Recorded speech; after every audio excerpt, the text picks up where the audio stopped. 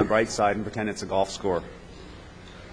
Um, okay, I'm going to talk a little bit about Lisp. For those of you planning to sleep through yet another introductory tutorial type session on Lisp, you're going to be disappointed because I have only about four review slides on what Lisp itself is. I'm going to actually talk mostly about um, some new technology that we've developed to make Lisp, Lisp easier to deploy at sites, um, a uh, briefing on what's going on in the IETF, um, and then some probably familiar stuff about what's going on with the implementation and deployment. There's a little bit of change there.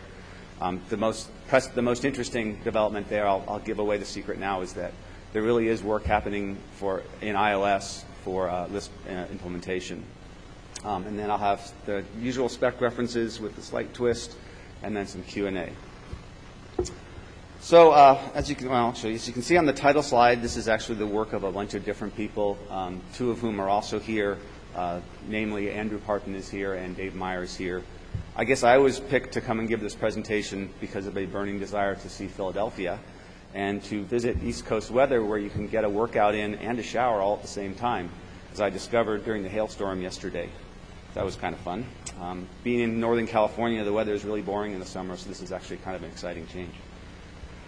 Um, anyway, uh, so, getting back to a little bit of history, as I said, there are going to be about four uh, briefing review slides. What provoked this whole Lisp effort? Um, basically, there was a workshop held back in October of 2006, sponsored by the IAB. A bunch of people got together who were concerned about scaling of the internet, in particular, scaling of the internet routing system. Um, and that's kind of what originally motivated us to put the Lisp stuff together. It actually came up over during a dinner conversation that we had back in October.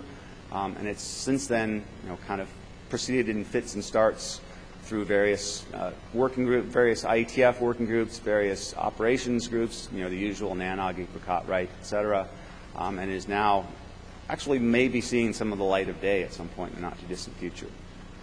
Um, again, it was motivated by a desire to scale the routing system. Um, this is a picture that everyone's probably seen a thousand times by now. Actually, brief survey. Who here has seen a Lisp presentation before? I expect to see just about every hand in the room go up. Okay, good. That means the review can be very short.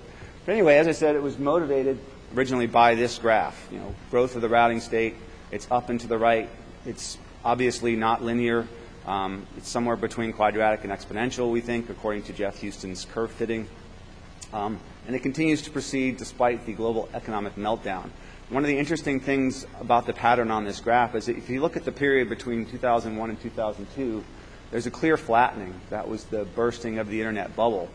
We don't see a similar flattening up in the upper right-hand corner of this slide, even though the economic decline is much more pronounced than it was back then. Um, that's interesting. I don't know if it's something to be worried about or if it just reflects a, a different sort of economic slowdown that predominantly affected the internet in 0102, but is affecting everything now. Um, one comment on the upper right-hand corner, you see a spike there, an apparent decline, and then a resumption of the, the curve. That's actually not a decline. That's a change in the data collection. Um, I guess Geoff lost one of his BGP feeds, so a bunch of more specific routes that were contributing to his count uh, went away. Um, the curve has continued using pretty much the same pattern. As the saying goes, I have some good news and some bad news.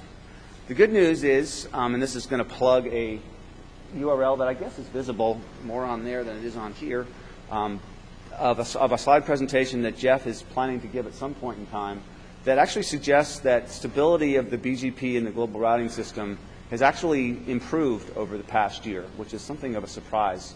Um, it suggests that maybe we don't have to worry quite as much about um, the rate of change causing, causing problems with CPU utilization, memory speed, et cetera. Um, as the saying goes, you know, we're not that sure of our facts, to quote Mr. Spock from a famous Star Trek episode. But uh, so, you know, the bad news is the trend is still up and to the right. We're not that sure about the data.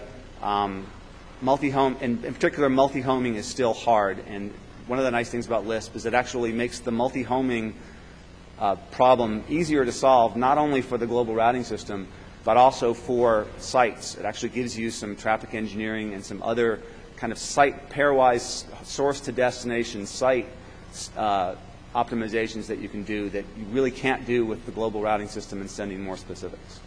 Dave, did you have a question or a comment? You look like you stood up for a second. No? Was it something good? Go. Okay. Um, so what is Lisp? Basically, it stands for Locator ID Separation Protocol. It's a way of taking the internet address space and creating two address, two numbering spaces out of it. One is a set of, of endpoint identifiers, EIDs for short, that are assigned to hosts. They're not routed on the global routing system, so they don't contribute to the routing system growth. The other are a set of routing locators, or RLOCs, that are topologically assigned. For most practical purposes, that means provider assigned. And they're used for a global, the actual global routing system, the BGP, between providers. What that separation allows us to do is it allows a couple things. It allows, first of all, it means that we can actually use both topologically significant um, numbering for the routing system, which is the best way, in fact, the only way we know to make it scale.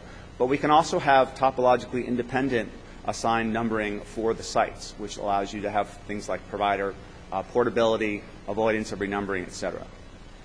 When we came up with Lisp, there were a bunch of kind of rules that we set for ourselves.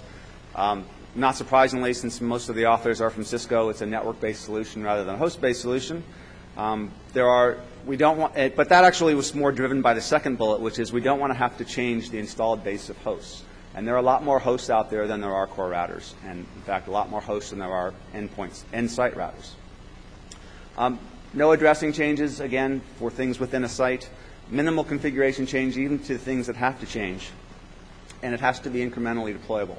Um, as Tony Li said during, I think, an RRG meeting a couple years ago, you know, deployment wins. If you can't deploy something, there's really no point in designing it.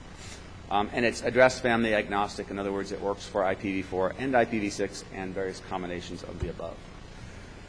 So this slide, and uh, this a little plug for Dino, um, all of the non-boring, or less boring, I should say, slides that have more than just text on them are done by Dino because he's our, our graphical wizard, um, in addition to being our implementer. But well, it looks like all of our animations are gone because we're using the PDF. Anyway, this is kind of a, a very brief overview of how Lisp works. On the left side of the slide, you can see a source.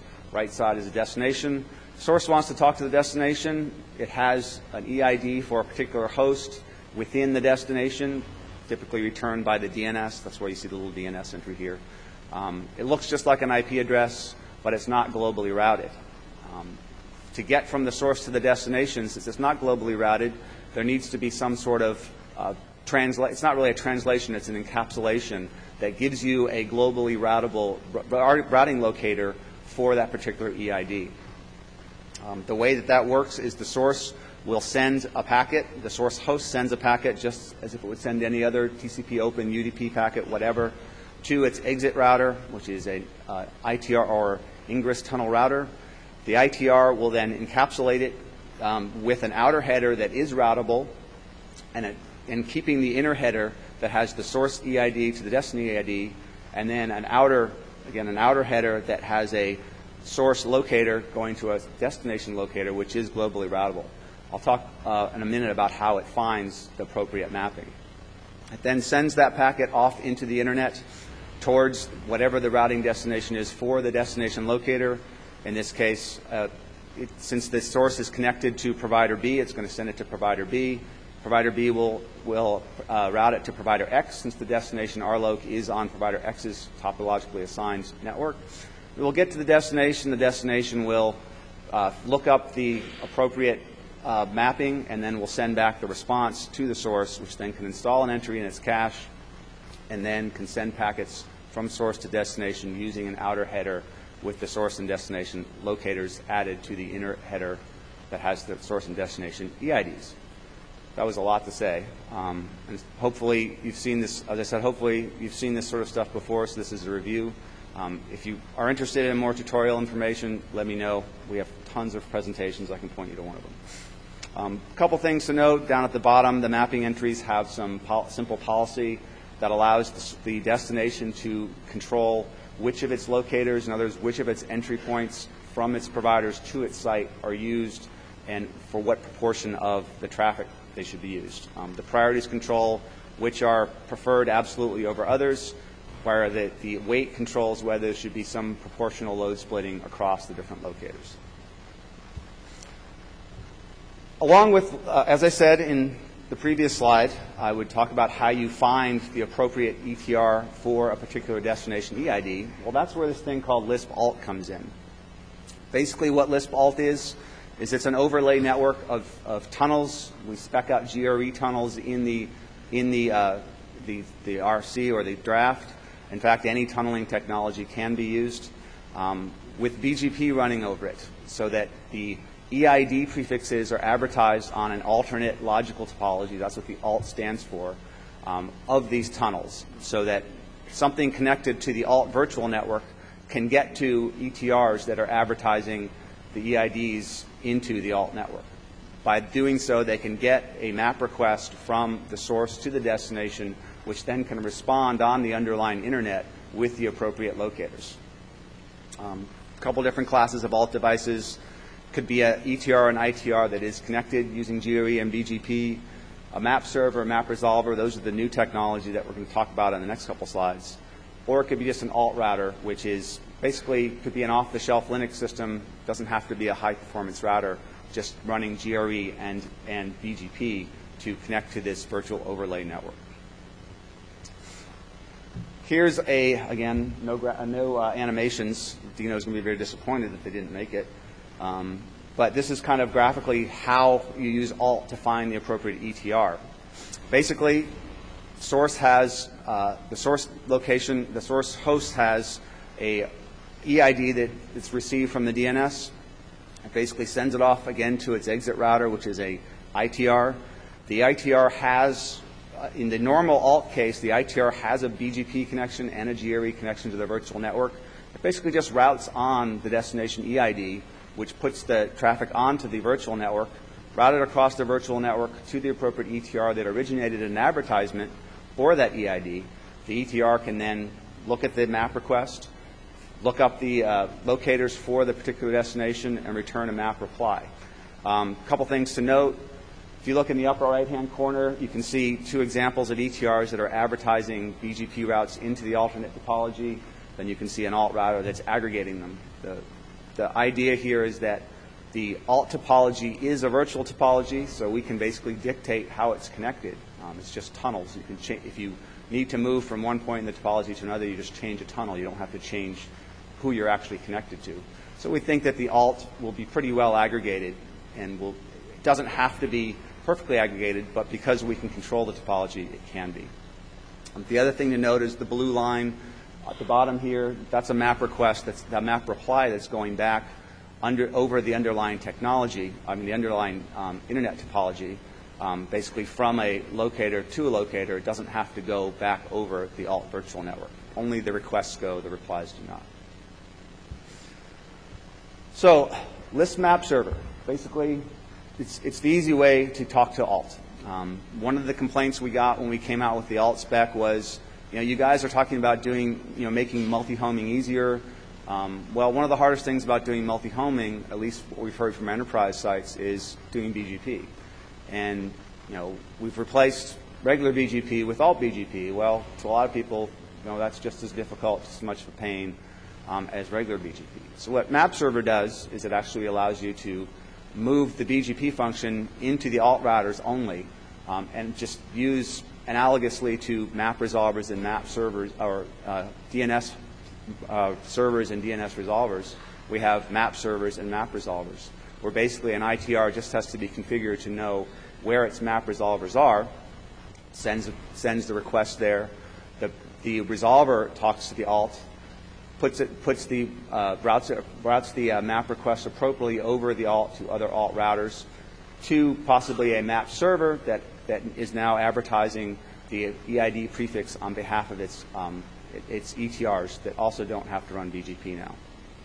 Um, there is a, we use a IPsec authentication header at the edge for the communication from ETR to the map server so that you don't have to have as much static configuration and there is authentication. Um, the ETR is still the source of truth for a particular uh, EID mapping. Um, it, it, advertises it using this authenticated um, map, uh, map register mechanism to a map server, which then is what, what propagates it out onto the alt. Um, again, ITRs only have to know about appropriate map resolvers, which, by the way, can be uh, any cast, we expect, instead of having to do BGP and connect to the alt. Um, one thing to note here that you'll see in the next slide is that the ITRs actually encapsulate the map requests that they originate inside of an additional Lisp header because the outer header needs to contain locators. In other words, the, the resolver, the resolver destination IP addresses are, are globally routable locators, while the, while the actual destination for the map request is an EID. So you need to be able to route that across possibly multiple internet hops using a globally routable locator before you can put it on the alt. Um, we expect that most map server, map uh, resolver functionality will be in uh, existing alt routers, although you can certainly implement that using a separate box that implements both the map server, map resolver, and alt. Um, again, this is kind of the easy way. The other way is the hard way. The easy way, you know, contrast. Um, here's where we show uh, XTRs connecting using a map server and map resolver. On the right-hand side, we have ETRs that are connected, an ETR up in the upper right-hand corner that has registered with this alt router, with MS in it means map server. Um, the map server is now responsible for propagating that EID into the alt instead of the ETR doing it itself. And the upper left-hand side, we have an ITR needs to send a request for a particular EID prefix. Um, it's going to just send it to a nearby map resolver that it has configured. Um, the map resolver now, and, and as we see, the, in the upper top row here, we show the extra layer of encapsulation. ITR needs this needs to look up a mapping for 240.111, creates a map request using itself as the source RLOC destination uh, EID, and then it puts an additional header on top of that so that it can route it to the map resolver, which may or may not be directly adjacent to it. And by the way, I'm going pretty quickly. All this stuff I think is reasonably well described in the appropriate internet drafts, which will be referenced at the end. Um, the all, now, the map resolver, what it's going to do is it actually will strip off the outer header, um, since it, it, it is the destination. It will then take the, the original map request that was generated, forward it across the alt to a map server, um, which will then put, an put another header back on it because it needs to route to the destination um, ETR, which is not connected to the alt and therefore cannot use the EID prefixes as destinations. Then, just as with any other map request processing, the ETR um, looks up the destination EID and returns the appropriate map reply with the locators across the underlying uh, internet topology without going through the alt or through the map server or map resolver. Um, this is kind of another view of the, of the, the same example that's showing kind of the, the detail of the extra layer encapsulation. Again, the ITR wants to send a, wants to look up a particular destination 24111. It's going to create a map request, send it to one of its map resolvers. Um, in this example, 1111 to 65111. Again, these are globally routable uh, regular internet IP addresses. Map resolver will take off that layer of encapsulation, routed across the alt, which could be you know, any number of, of, of intermediate alt routers, the, to a map server. Map server then puts another header on it, still the same map request, but it needs to get it to the ETR, so it needs to put RLOCs on the outer header, sends it to the ETR. The ETR then returns the appropriate reply um, directly from ETR to ITR. Um, just one quick slide again for an ETR to advertise a particular EID prefix into the alt, since it's no longer connected to the alt, it now has to do a Lisp map register, which has an authentication header on it, sends to one of its config, well, actually to all of its configured map servers, saying, you know, I am the source for, I'm the source of information for this particular EID prefix. Here's my art, here's my locator set. The map server then takes that and advertises it into BGP onto the alt, um, which then propagates to the other alt routers and is therefore available for map, for map resolvers to use.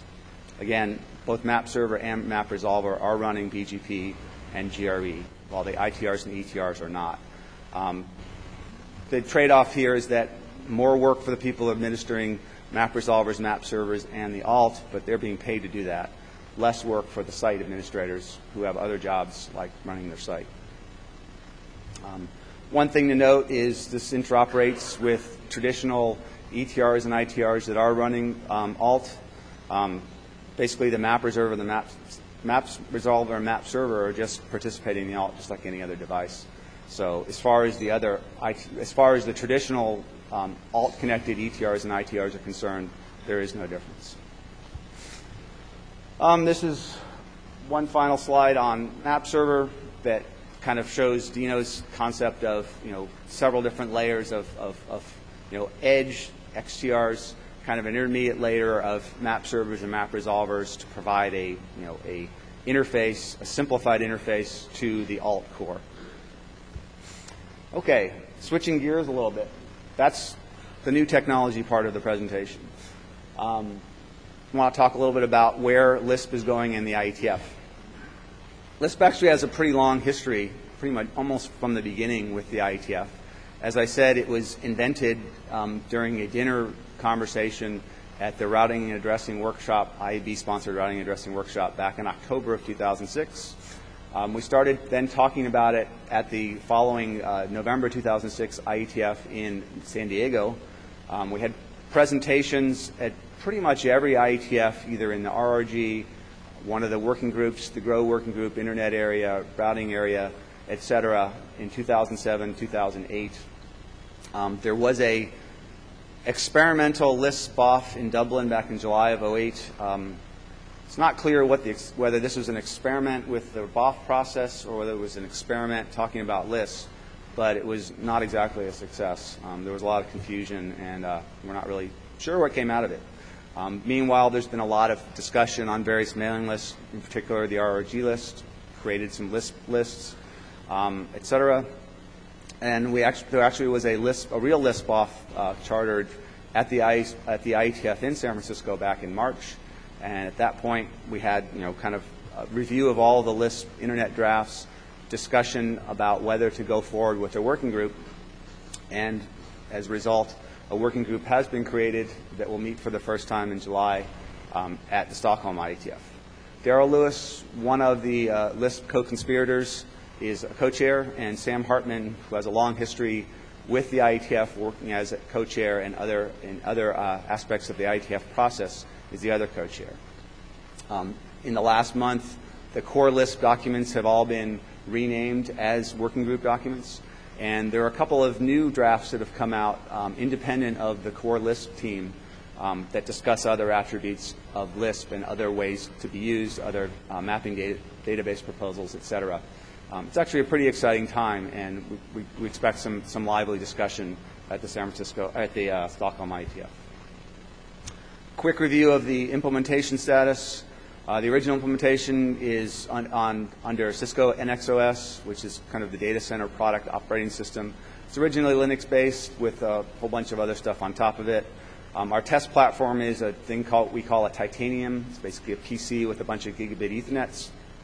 Um, the implementation includes Lisp, all interworking, map server, map resolver, and this thing we call LIG for you know taking a page from the definition of ping. It's the Lisp Internet Groper diagnostic tool for actually testing the mapping lookups. Um, it's, today it's software switching only. It does support IPv4 and IPv6, um, both, I, both uh, as both the underlying and the overlaying uh, protocols in any combination. There's ET, ITR, ETR, and PTR implementations, and there's LISP NAT for IPv4 only.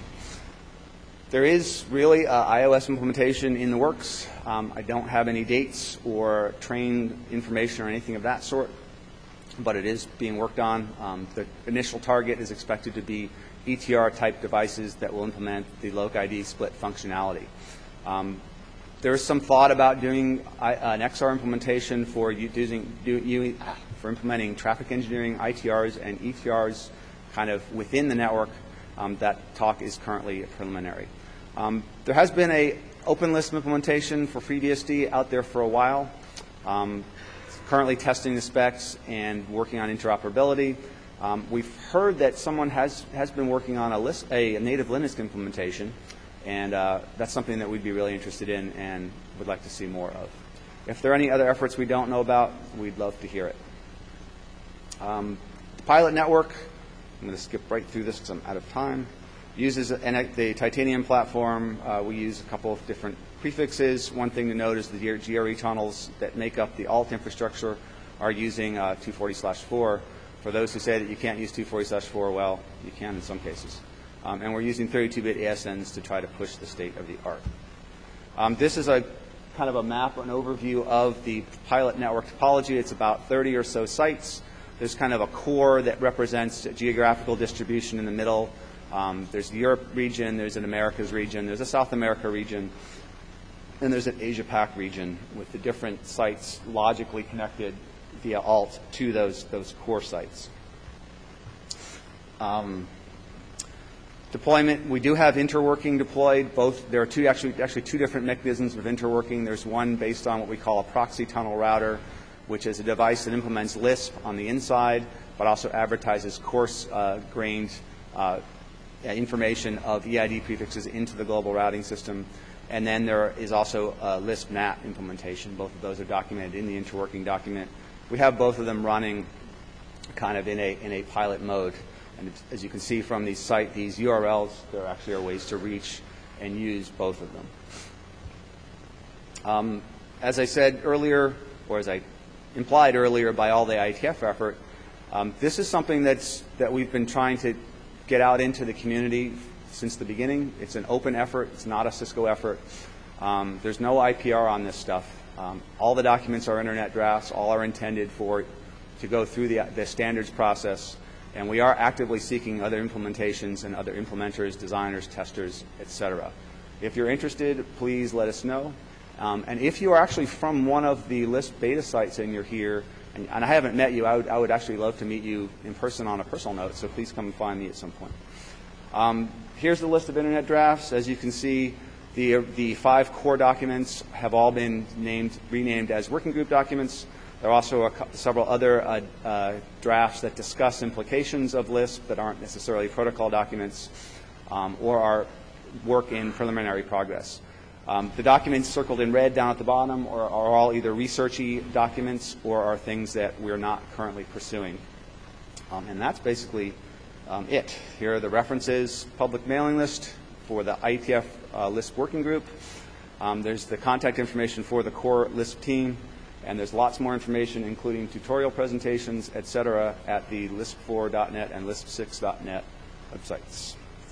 And that's all I have. So if there are any questions or comments before we break for the break, uh, this is a good time to offer them. Don't want to keep anyone between, uh, between here and coffee and snacks. So hopefully this will be quick.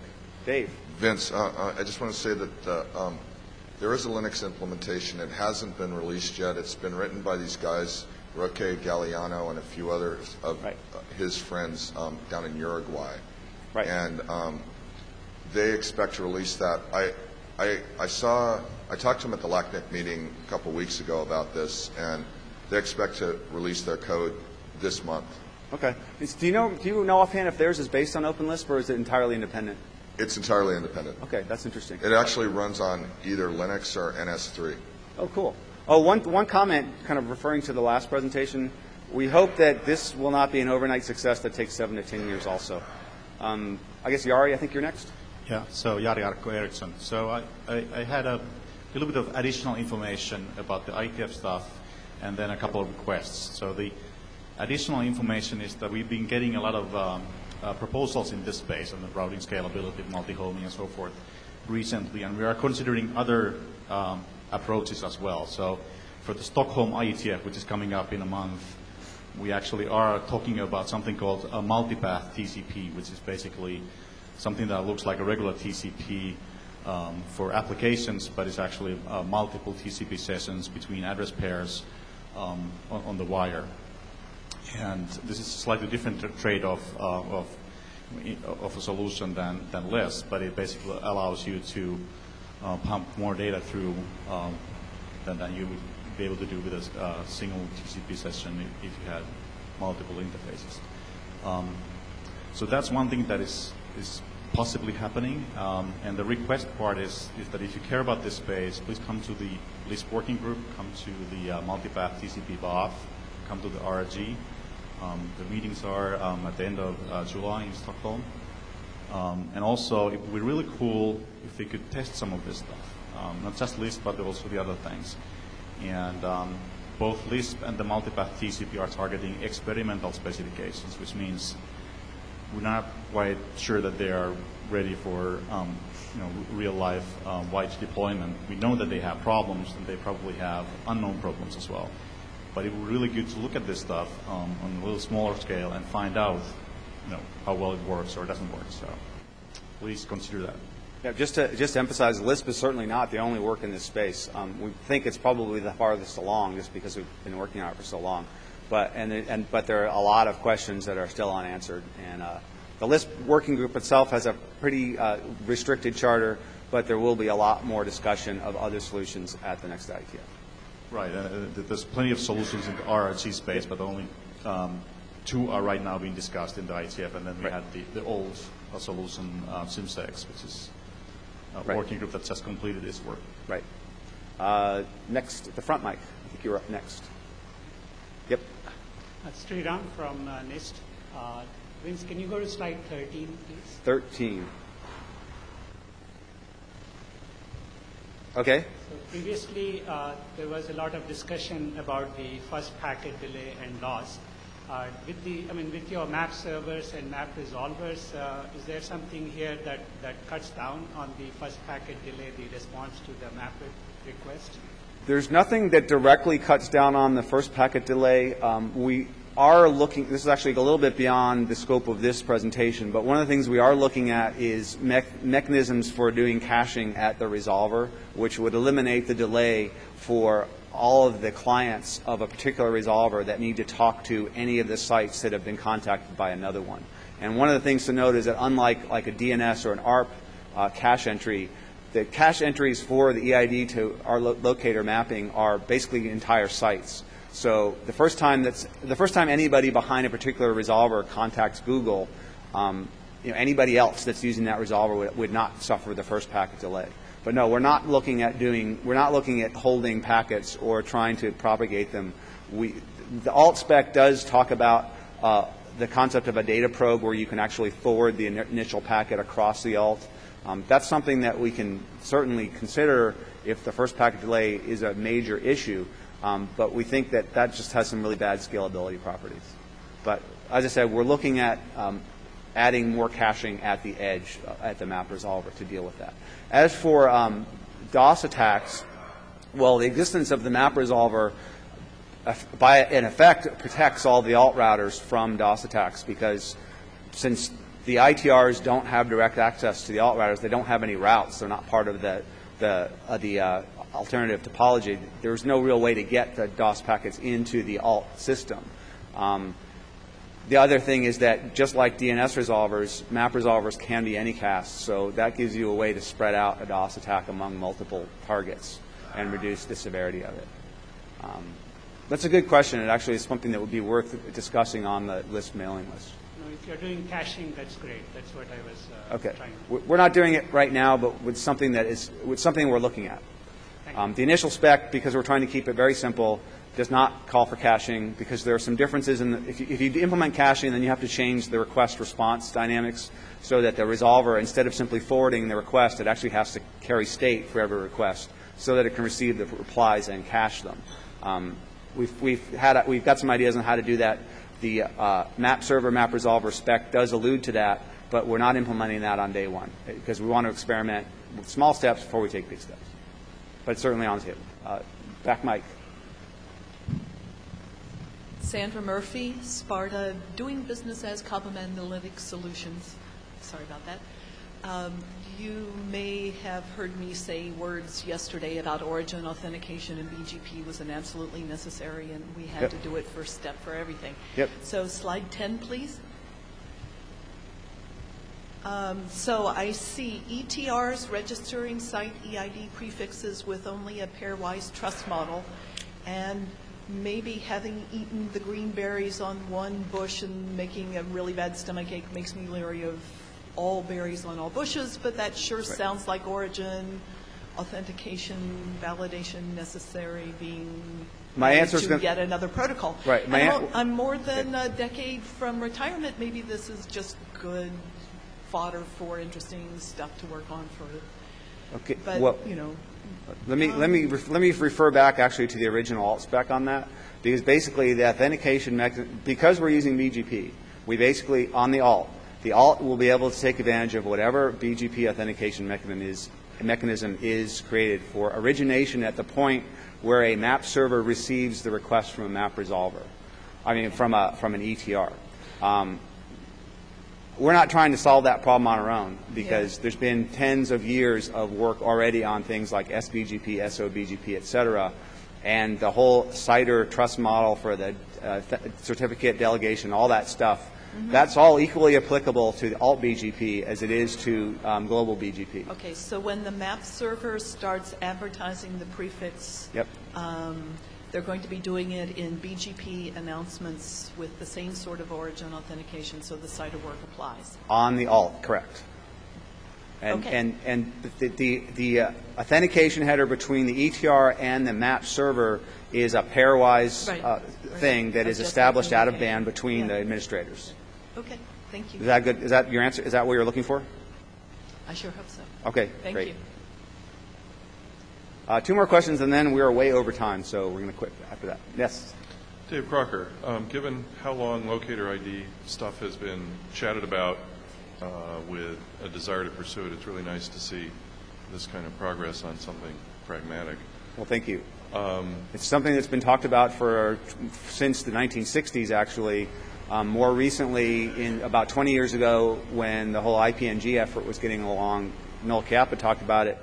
The people that invented IPv6 kind of totally missed the boat on this, and now we've decided that, well, this is something that's really fundamental that we have to now retrofit in, and that's what we're trying to do. But go, continue. Yeah, V- V6 largely dodged the question of being creative with, with addressing, and, and um, the stuff back 20 years ago that was frustrating was they were, there were ideas, but there weren't details, and you can't Right. really make decisions about, without the details. Right. And Um, one, it- one, one interesting thing to note, of course, is that one of our co-authors is Noel Yeah. Chiappa, who's been a great proponent of this over the years. Did notice that. Yes. In looking over some of the documents, um, they're all appropriately technical and, and focus on the how.